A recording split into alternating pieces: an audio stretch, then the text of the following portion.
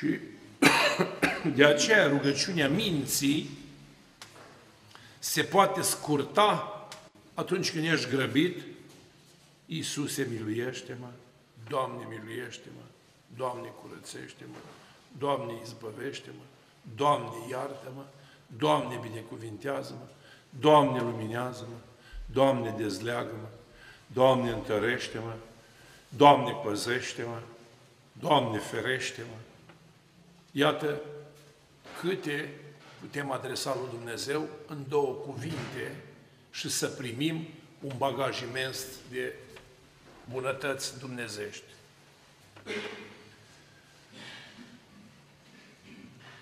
Se spune că Iisus nu i-a răspuns niciun cuvânt. N-avea cuvânt pentru femeia păgână, deși el amintește și spune, eu n-am venit decât către oile cele pierdute ale casei lui Israel.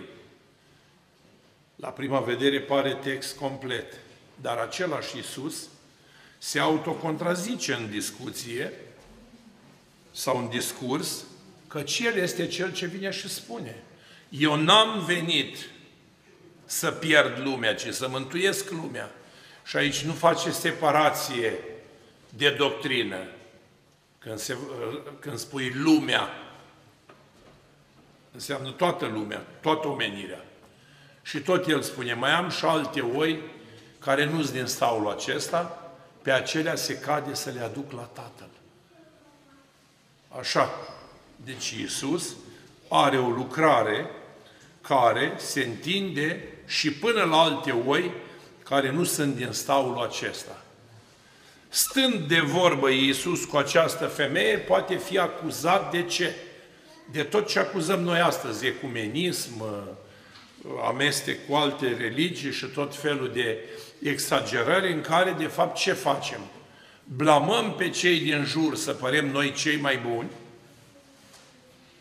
blamăm pe cei de altă religie în detrimentul și în favoarea noastră, că noi am fi cei mai buni, dar în schimb nu putem explica lumii de ce iadul e plin de ortodoxi, de ce iadul e plin de păcătoși creștini și botezați, de ce iadul e plin de oameni cunoscători ai legii.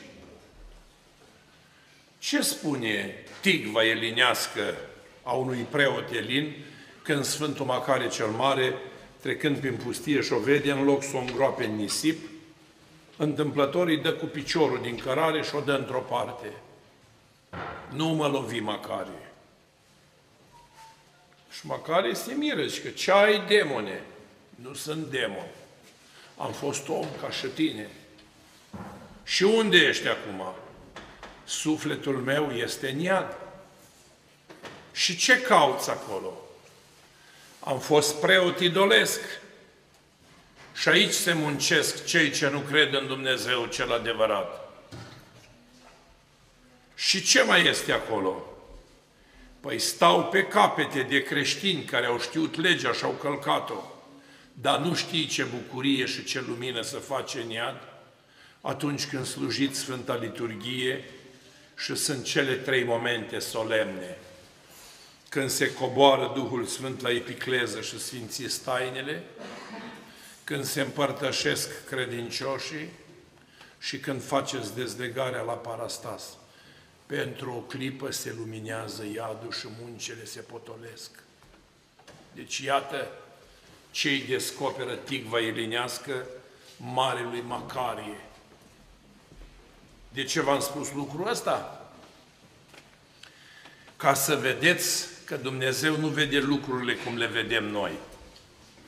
Nouă ni s-a dat, ca ortodoxi, taina dreptei credințe, darul apostolic, darul sobornicității, darul unicității trăimii și lucrării dumnezeiești după simbolul crezului de credință, așa cum l-a revelat Sfânta Scriptură, mai presus de fire, dar nu ni s-a dat dreptul să judecăm înaintea lui Dumnezeu celelalte neamuri, bad jocorindu-le și bârfindu-le, crezând că făcând acest lucru, noi ieșim în evidență că am fi mai superiori.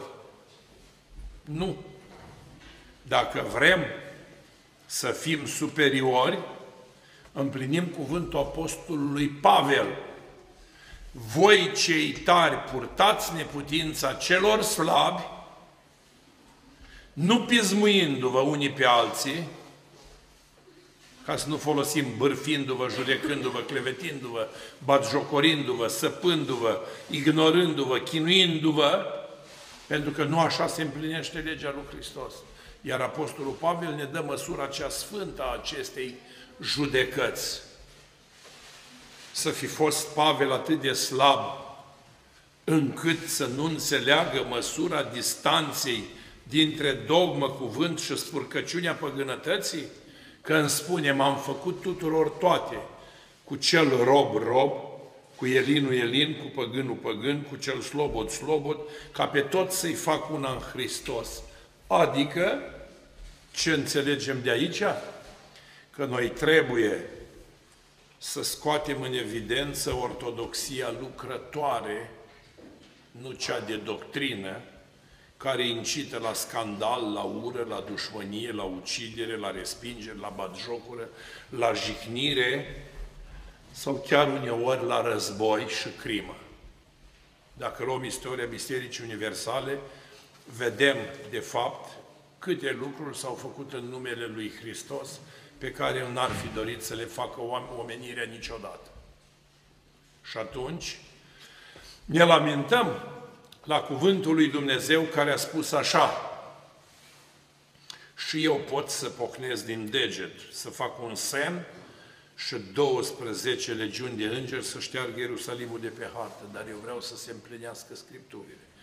Petre, tu să-ți bagi sabia în teacă, că cine scoate sabia de sabie va peri.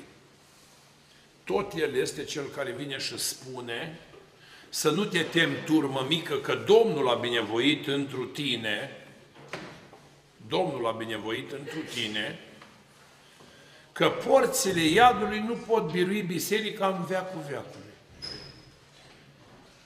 Deci, credința, harul și harismele nu stau în numărul de credincioși.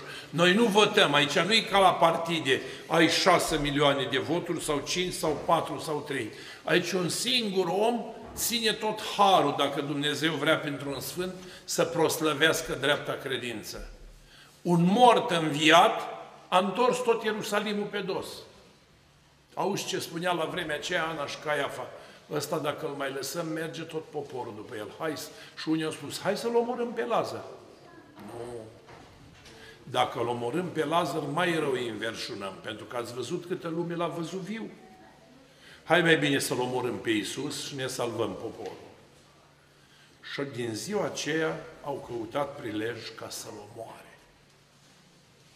Deci, așa trebuie să vedem lucrurile. În momentul în care Apostolul Pavel ne spune, dacă vreți ca Dumnezeu să se bucure în cer, așa să lumineze credința voastră înaintea oamenilor, ca făclia în sfeșnic, ca văzând oamenii faptele voastre cele bune, să-L slăvească pe Tatăl vostru cel din cer, având mijloacele încinse, făcliile aprinse, îmbrăcat sandal, încălțat sandale Evangheliei dreptății, luați coiful mântuirii și sabia nădejdii, ne spune Apostolul Pavel, și să biruiți în ziua cea rea. Deci iată ce cere Scriptura de la om. Nu cere să fii mărlan, nu cere să fii mitocan și mediocru și să-ți jicnești aproapele, arătând că el este un om de nimic și tu ești altceva. Nu.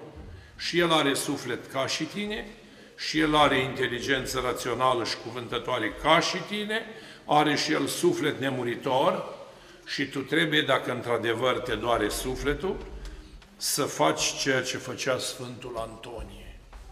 Ce îi spune Dumnezeu lui Sfântul Antonie? Nu te mai ruga pentru diavole, Antonie, că ăștia nu se pot mântui. Apropo de apocatastază. Deci, noi, dacă iubim pe Dumnezeu, măsura lui Dumnezeu este iubirea.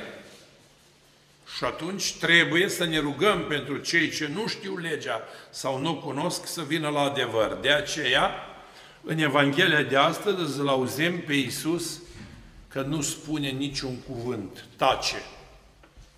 De ce tace Dumnezeu? Este timpul liturgic de așteptare dintre întruparea Fiului lui Dumnezeu și a doua lui venire.